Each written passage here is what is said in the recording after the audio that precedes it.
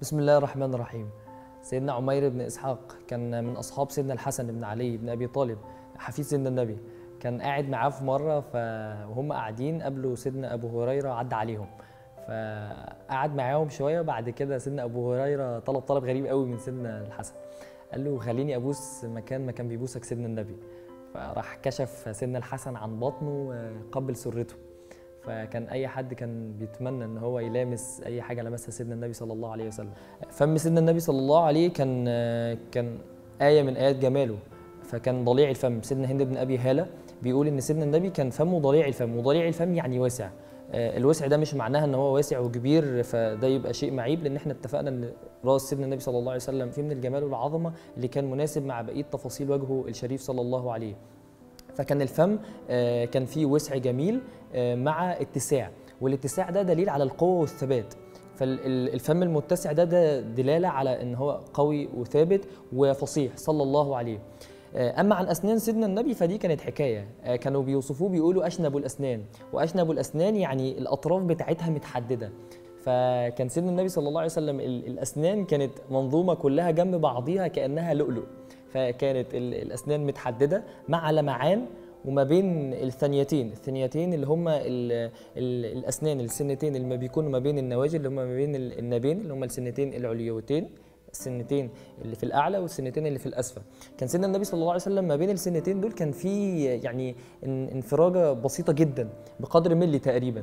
فدي كانت فيها جمال وكمال من سيدنا النبي. كان لما يجي يتكلم كان الصحابة بيقولوا آه، كنا إذا تحدث رسول الله صلى الله عليه وسلم أو أو حتى لما كان بيضحك كانت ال- النور كان بيخرج ما بين الثانيتين صلى الله عليه وسلم. فالأسنان المفلجه دي, دي دلالة على حسن أخلاق سيدنا النبي صلى الله عليه وسلم وعلى دلالة على حسن أخلاق آه، صاحبها. أصل كل جمال. أما عن الأسنان المعتدلة ولما بتكون متساوية وف- واخده الجمال والبهاء ده فدي بتدل على ذكاء الإنسان. طبعا ما فيش أجمل من الذكاء ولا أكبر ولا أعظم منه صلى الله عليه. فكانت أسنانه بتح... متحددة بلمعان ب... بنور بجمال. كان أي حد يشوف آه، سيدنا النبي صلى الله عليه وسلم كان يدوب أول ما سيدنا النبي صلى الله عليه وسلم يبتسم أو بيضحك. زي ما قال سيدنا الإمام البصيري كانما اللؤلؤ المكنون في صدف من معدني منطق منه ومبتسم. كان سيدنا النبي لما بس. يعني يكشف لهم بس عن جمال سنانه كأن خرزات لؤلؤ كانت م- متصنفة أو مرصوصة جنب بعضيها. سيدنا عبد الله بن عباس بيقول سيدنا النبي لما كان بيجي يتكلم كنا بنشوف النور بيخرج ما بين ثنايا سيدنا النبي. مش نور معنوي لأ ده نور حسي. إحنا كنا بنشوف النور ده. فصلى الله عليه وسلم. كان لما يجي يضحك كانت أسنانه كانت تنور في الجدار. كان الضوء بتاعها يظهر في في الح- في الحيطة اللي قدامهم. مش نور معنوي تاني بس ده كان نور حسي صلى الله عليه. سيدنا النبي صلى الله عليه وسلم كان دايما بيهتم بيحب إن هو يهتم بأسنانه وب- وبطهارة فمه وب- وإن هي تكون دايما ريحتها كويسة. ده مش عشان سيدنا النبي مثلا ممكن إن يحصل إن مثلا أسنانه تكون ريحتها مش كويسة أو حاجة. صلى الله عليه كان أصل الجمال. عمره ما كان في حاجة في موطن موطن قبح أو موطن إن حد يشمئز منه صلى الله عليه. لكن كان كل حاجة فيه هي موطن جمال وموطن يعني أحلى حاجة في الدنيا. فكان بيعمل كده وكان بيهتم بنظافة أسنانه وفمه كان بيؤمر بكده ده علشان يكون آه، تشريع للناس. فكان دايما يقول حبذا المتخللون من أمتي. يعني يقولوا له مين هم المتخللون؟ يا رسول الله. يقول لهم المتخللون لما بييجوا يتوضوا بيتوضوا كويس بيخلوا المية توصل لكل حتة في فمهم. وحتى لما بيجوا إن هم يجوا يقفوا يصلوا كان ما بيبقاش فيه بقايا الطعام ما بين أسنانهم لأن الملائكه ما كانتش بتحب تشوف ال- ال- المنظر ده كانت بتتضايق إن يكون في المنظر ده موجود ما بين الأسنان. كان دايما بيشجعهم ويقول لهم السواك مطهرة للفم مرضاة للرب. دايما حافظوا على أسنانكم. دايما اهتموا بيها وبريحتها. يعني وصل من شدة الأمر ومن شدة ال ال ال يعني ال- الحرص على سيدنا النبي صلى الله عليه وسلم إن أمته يبقى فمها فيها آه، من ريحة الجمال قال لهم لولا أن أشق على أمتي لفرضت عليهم السواك. يعني لولا إن أنا بس خايف على أمتي إن الموضوع يبقى شديد عليهم أنا كنت أمرت بيهم آه، إن هم يستخدموا السواك بعد كل صلاة. سيدنا النبي صلى الله عليه وسلم كان كل حاجة فيه على صفة الكمال والجمال. كان من أحسن عباد الله شفتين وألطفهم ختم ختم فم. وختم فم يعني لما سيدنا النبي لما كان شفايفه آه، تقفل على بعضها ما كانش فيه زي كده في الدنيا ابدا ولا كان فيه نعيم بعد كده. آه، سيدنا الإمام الهمداني بيقول بي إن سيدنا النبي لما راح للسيدة حليمة السعدية وهو كان في عمر ال- الطفولة فكان علشان ترضعه كانت مرضعته السيدة حليمة. فصدر السيدة حليمة ما كانش فيه لبن. بس أول ما لمسته آه، شفايف سيدنا النبي واول ما لمسوا آه، فم سيدنا النبي يعني اتملى باللبن وحتى أخوه في الرضاعة كان اتهنى ببركة لمسة سيدنا النبي صلى الله عليه حتى في غزوة أحد لما صرخ إبليس عليه لعنة الله لما قال إن محمدا قد قتل والمشركين حاولوا إن هم يتجمعوا على سيدنا النبي وحصل ان إن سيدنا النبي اتجرح في وجهه الشريف. سيدنا النبي صلى الله عليه وسلم كمان اتجرح في شفته السفلى.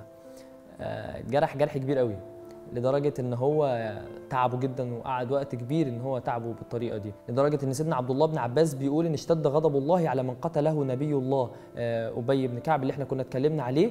واشتد غضب الله على من أدمى وجه نبي الله صلى الله عليه وسلم. في مرة سيدنا النبي كان قاعد مع مع أصحابه وكان قاعد مع سيدنا الحسن. فبيهزر مع سيدنا الحسن فبيخرج له لسانه. فحمرة لسان سيدنا النبي بانت. فأول ما شافها سيدنا الحسن فبدا إن هو عايز يوصل ويلعب بيها بإيديه فشافه واحد من أصحابه استغرب يعني يعني يا سيدنا النبي؟ أنت بتعمل كده ليه؟ ده أنا عندي مجموعة من الأولاد يعني مجموعة كبيرة. من ساعة ما اتولد لحد ما الإنسان فيهم بقى كبير آه، وبقى عنده لحية ولا بوسته حتى. فقال له طب أنا أعمل لك إيه؟ يعني أو أملك لك إن نزع الله بك إن نزع الله منك الرحمة. يعني من لا يرحم لا يرحم. وفي مرة سيدنا النبي صلى الله عليه وسلم كان آه، آه، يعني اتعزم على أكل ف وهم قاعدين وخلاص يعني بعد ما أكلوا فقام. فالقوم بيدوروا عليه يعني رايح فين يا سيدنا النبي؟ خليك قاعد معانا شوية. فهو كان بيدور على حاجة معينة بيدور على سيدنا الحسين. فشاف سيدنا الحسين وسيدنا الحسين كان سيدنا النبي صلى الله عليه وسلم رايح عشان عشان ياخده يعني ويلعب معاه. فأول ما شافه راح طلع يجري. عايز يهزر مع سيدنا النبي برضه عايز يلعب معاه. فسيدنا النبي يعني مشي معاه برضه. فضل يهزر معاه بدأ يستخبى له لحد ما مسكه مسك ايدين من يعني مسكه بإيد بكف من عند رقبته وبكف من عند آه، آخر راسه من فوق وراح مقبله صلى الله عليه وسلم. وفي مرة أحد الصحابة بيقول سقاني رسول الله صلى الله عليه وسلم شربة من من من سويق مكان حاجة بيتحط فيها مية هو شرب أولها وأنا شربت في الآخر. فبيقول لحد النهارده أنا حاسس إن أنا الشربة اللي أنا شربتها دي حاسس بيها لما أجي أجوع أحس إن أنا شبعان يعني دي بتكفيني ودي بتقويني ودي بتهون عليا أي حاجة في الدنيا. وفي مرة سيدنا النبي صلى الله عليه وسلم دخل على آه، على أم سليم. أم سليم دي كانت من كبار الصحابة ومن كبار الناس اللي دايبة في جمال سيدنا النبي صلى الله عليه وسلم. فشافت سيدنا النبي بعد ما خلص قعدته وقايم فلقت فسيدنا النبي صلى الله عليه وسلم شاف في حاجة متعلقة فيها مية قربة فيها فيها مية ف ف- يعني شال الغطا من عليها وشرب وخرج بره البيت آه، راح يعني يشوف آه، أشغاله صلى الله عليه. فأول ما أم سليمة شافت الموقف ده راحت جايبة قايمة آه، مسكت القربة دي وراحت قطعت ال- ال- ال- المكان اللي شرب منه سيدنا النبي. الناس ما بتهزرش. وخبتها ودي كانت معاها طول حياتها والله أعلم دلوقتي يعني كان إيه مصيرها في النهاية. آه، سيدنا النبي كان عارف إن أي حد هيبقى نفسه يكون موجود في الموقف بتاع أم سليم. وكان عارف إن أي حد كان هيتمنى إن هو يلمس أي موضع من من سيدنا النبي. فلما كان عند الكعبة وهو في أثناء حجه أو في أثناء عمرته راح عند الحجر الأسود. الحجر الأسود اللي هيفضل موجود لحد يوم القيامة. اللي هيتوافد عليه أمة لا إله إلا الله وأمة سيدنا النبي صلى الله عليه وسلم من بداية مو من بداية بعثته لحد ما ربنا يأذن ويشاء إن يوم القيامة يجي. فراح عند الحجر الأسود وقبله. علشان اللي يجي بعد كده يعني يدوب يلمس مكان قبله سيدنا النبي صلى الله عليه. لدرجة سيدنا عمر لما كان بيروح هناك وكان يجي يبوسه بيقول له أنا عارفك أنت يعني ولا هتضرني ولا هتنفعني. أنا بس كل الحكاية إن أنا شفتك شفت سيدنا النبي صلى الله عليه وسلم بيبوسك. فأنا ما أقدرش ما أسيبش مكان ما ما, لمسش سيدنا النبي صلى الله عليه وسلم. الكلام عن سيدنا النبي عمره ما هيخلص وعن جماله عمره ما هيخلص ولا هينتهي. آه، إحنا لسه مكملين آه، كلام عن سيدنا النبي وعن جمال سيدنا النبي وعن دلال سيدنا النبي صلى الله عليه وسلم آه، على صفحتنا على الفيسبوك. وصلى الله على أصل الجمال والكمال ومنبع كل جمال وكمال. سيدنا النبي صلى الله عليه وآله وصحبه وسلم. هو الحبيب الذي ترجى شفاعته لكل هول من الأهوال مقتحم فهو الذي تم معناه وصورته. ثم اصطفاه حبيبا بارئ النسم